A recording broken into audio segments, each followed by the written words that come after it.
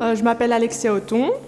J'ai choisi euh, ce métier parce que je retrouve vraiment euh, cette, cette valeur-là, être utile aux patients, collaborer aussi avec les, les médecins, c'est vraiment une richesse. J'aime le contact aussi avec les, les, patients. Un jour, ben, je suis rentrée dans une, une chambre d'une patiente et elle était en pleurs. Après avoir discuté longuement sur, sur ses problèmes, ben, pas forcément en trouvant des solutions, mais juste en discutant avec elle, en prenant le temps euh, de parler de choses euh, qui la tracassent. Eh bien, euh, après cette discussion qui a duré je ne sais pas combien de temps, une demi-heure peut-être, elle s'est sentie beaucoup plus apaisée, beaucoup plus sereine. Dans ces moments-là, ben, je me sens utile